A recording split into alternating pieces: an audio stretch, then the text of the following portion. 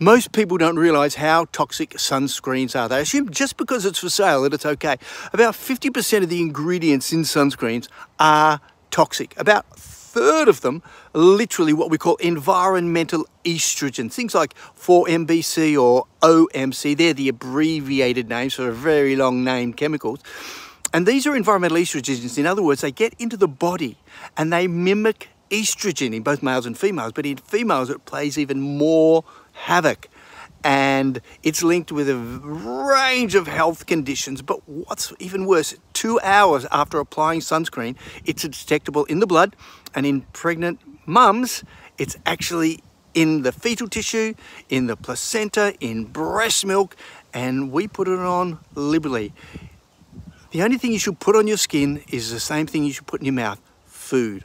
And there are great food substances that also protect us from the sun.